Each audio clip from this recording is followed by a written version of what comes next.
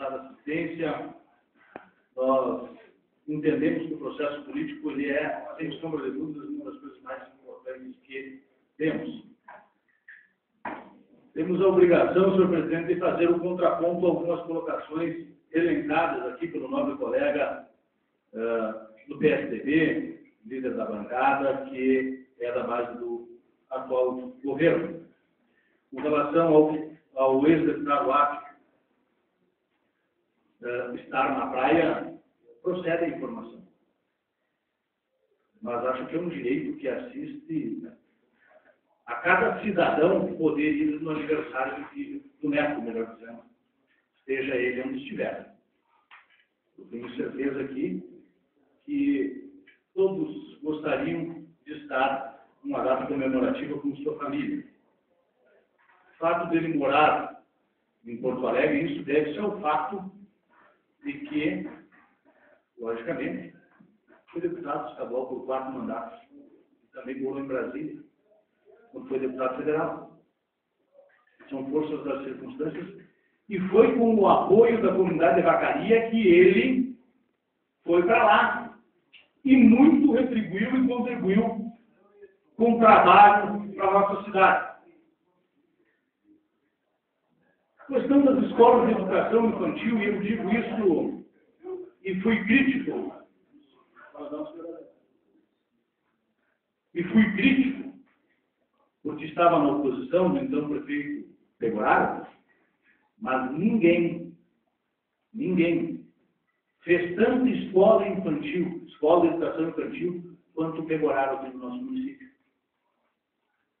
Está pingando o mandato e o PT fala que vai construir duas. O Pegoraro foi quem mais construiu escola de educação infantil aqui no município de Vacaria. O plano de carreira do Ministério Público Municipal, apresentado pelo atual governo, não representam nada no branco. Não deu absolutamente nada. Com relação aos pedágios, há vários deputados, como foi o deputado Arco, que votou contra ou a favor, votou a favor, sim. Mas não podemos esquecer que o governo do PT instalou a cobrança para os dois lados, que é o governo do do PT. Eu entendo, senhor presidente, que é, e, deve ser dessa forma, é, de uma forma educada e propositiva, como fez o colega vereador que nós vamos buscar fazer o nosso debate, é, é, que há uma falsidade na questão que o Eloy mudou Vacaria, o PT mudou Vacaria. Eu, me parece que Vacaria passou a existir de três anos para cá, que nunca houve Vacaria, porque a Casa do Povo agora foi o Eloy. Quem construiu a Casa do Povo, aliás, um desrespeito, porque esta casa denominou a Casa do Povo como Centro Cultural Marcos Palomini, foi Marcos Palomini. E essa reforma que foi feita na Casa do Povo não tem nenhuma verba pública, é dinheiro de empresários de vacaria. Então, esta é a verdade. Com relação aos renais crônicos, e aí vai os louros a governador Iera Cruz, cidadão. Se estão sendo substituídos as máquinas, nós devemos muito ao governo Iera Cruz. Com relação ao aeroporto, me parece que, em primeiro lugar, o aeroporto não está pronto, pronta pista.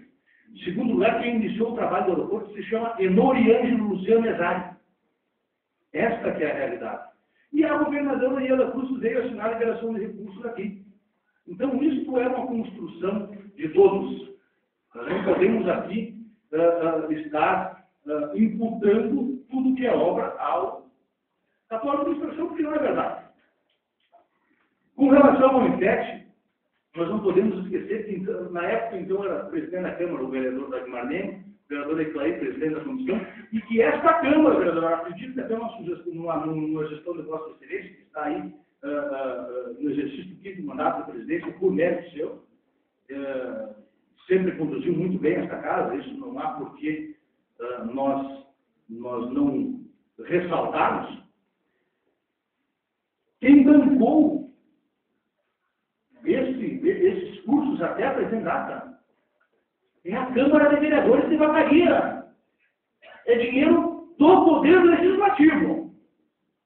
Se está vindo, ótimo. Quando o prefeito Suzinho era, ainda estava no governo, já foram dados os primeiros passos para que o IFES viesse para cá. Que bom que veio. Ótimo. Mas nós não podemos, senhor presidente, para concluir, rasgar todos os recursos que a Câmara de Vereadores sustentou essa escola provisória que estava aí agora transformada em PET. Isso é dinheiro da Câmara, economia da Câmara, mérito dos vereadores. Trabalho iniciado aqui na gestão do colega vereador Dante Martins, quando era presidente da comissão, o vereador Eclair.